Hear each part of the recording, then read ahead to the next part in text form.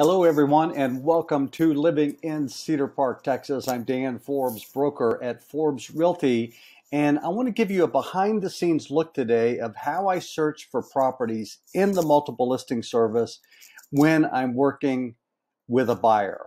And let me say, if this is your first time to my channel, welcome.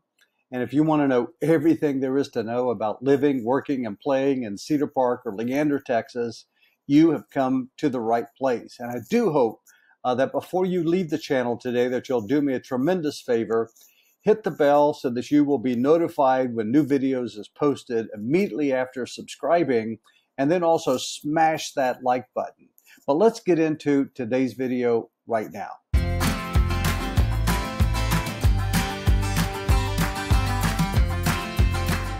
I thought it might be interesting just to give you a sort of behind the scenes look at how I actually search for properties in the multiple listing service. So let's get into that. First of all, let me minimize the camera right now.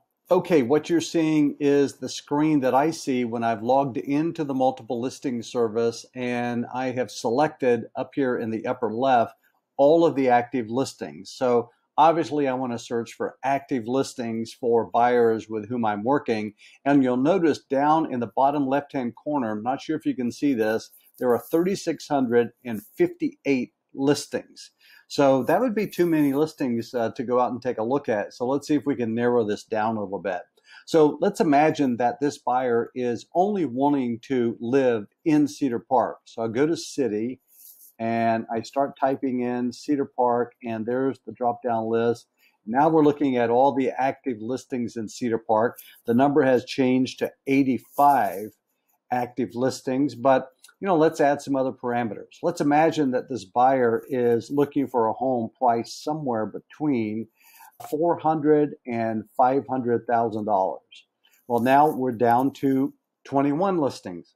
Let's also imagine that this buyer is only interested in looking at two story homes. Now we've dropped down to 14 listings. Now I want to say that there's a lot of par- uh, parameters that I can use when searching for a home besides the price and the city and whether it's one tor- story or two story because a buyer might be interested in a home that all the bedrooms are upstairs, for example, or maybe only the master downstairs. They might be looking for a fenced backyard. Whatever it is they're looking for, I can put these parameters into the multiple listing service. Now, let's imagine that this buyer is going to be taking a job at the uh, Cedar Park Regional Medical Center, and they want to be sure that they are no more than 15 minutes away drive time during the peak traffic time of, let's say, 8:30 in the morning. Let me show you how I do that. So as we uh, saw a moment ago, we are down to 14 listings, but let's change that by adding in some drive time. So I can actually go to a map feature and you can see where these homes are located in Cedar Park right now. But I can go to this icon that is uh, drive time. So I can put in the address of the medical center. I actually had that in my drop down already, 1401 Medical Parkway and say that I want to search for homes that are within 15 minutes of the medical center at 8:30 in the morning. And these are all drop down so I can change the times or do whatever. Let me click add. Let me move myself out of the way here a little bit. And now you'll see the map. Uh, and you'll notice that we have gone from uh, 14 listings to actually 12 listings.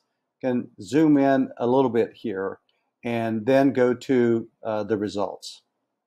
So two of the other listings were not within uh, 15 minutes.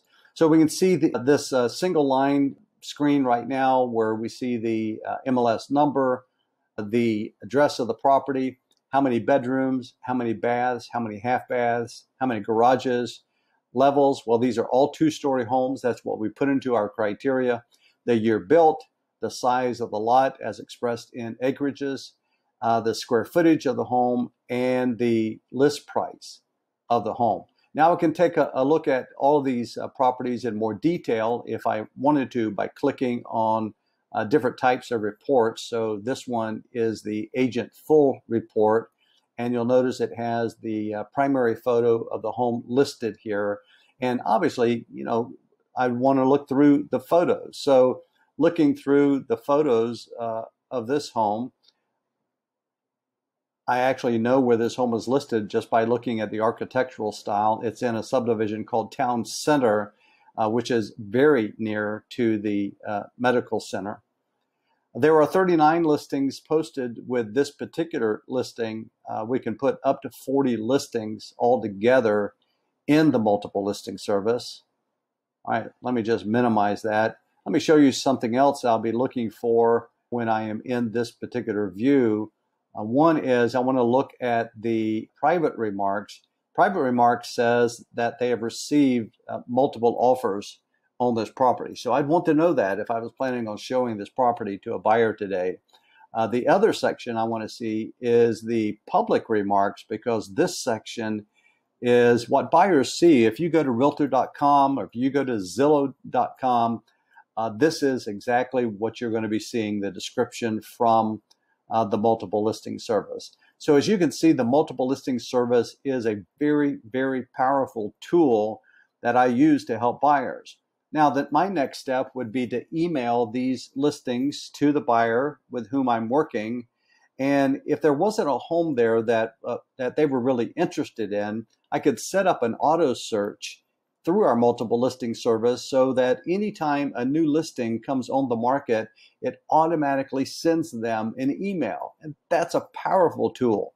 I can set that so it sends an email to them immediately when the listing is turned active or if they prefer to get an email once a day, or perhaps in the morning and in the evening, or once a week, whatever they want, that's what I can provide for them. And that is a very, very powerful tool. Lastly, let me show you where I do most of my business in helping people buy homes or sell homes here in the Austin area. So we're looking at the map. You can see that Austin is here. We were just doing a search in Cedar Park, which is right here. And then north of Cedar Park is Leander, Liberty Hill, and then also directly north of Austin is Georgetown, Round Rock, and Pflugerville. Let me zoom in just a little bit. So there's the name Cedar Park that you'll see. So Cedar Park is about 20 minutes, 22 minutes north of downtown Austin. Add about another 10 minutes uh, to go up to Leander and maybe another five minutes to go up to Liberty Hill.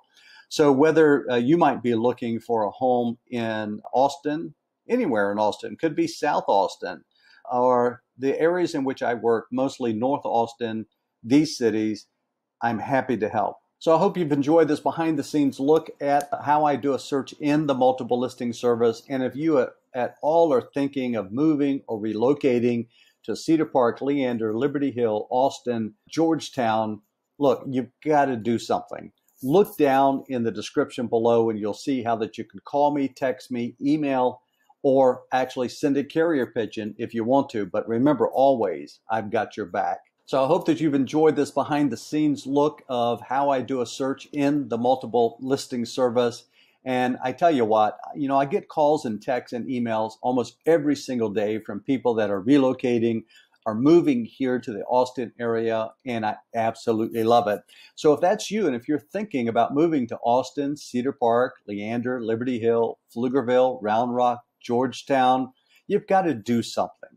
Look down in the description below, and you'll see how that you can call me, text me, send me an email, or heck, I don't care. You know, send me a carrier pigeon. I'm happy to help, and remember always, I've got your back. Right now, you're beginning to see some other videos pop up on my channel. So if you want to know everything there is to know about what it's like to live here, work here, and play here, you know, explore my channel, take a look at those videos, and then give me a call. Thanks.